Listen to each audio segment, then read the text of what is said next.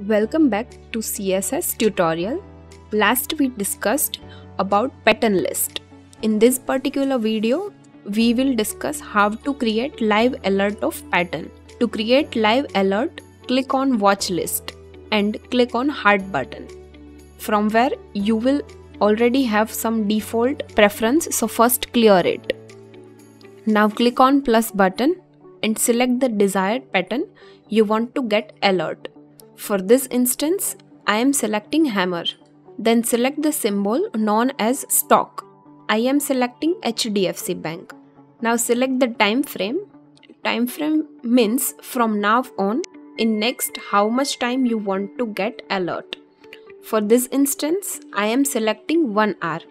Now in the watch list section, you will see previous data of HDFC Bank. Now based on our performance, you will get alert notification if hammer pattern is made in HDFC stock in the next 1 hour.